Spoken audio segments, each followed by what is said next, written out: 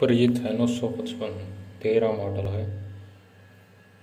मैं हरियाणा में बिका डबल क्लच में पावर स्टेयरिंग है। ऑयल टाइप ब्रेक है, सत्तर percent tyre centre gear box price है तीन लाख पचासी हज़ार रुपये। आपने बेचना तो कमेंट बॉक्स में बताओ।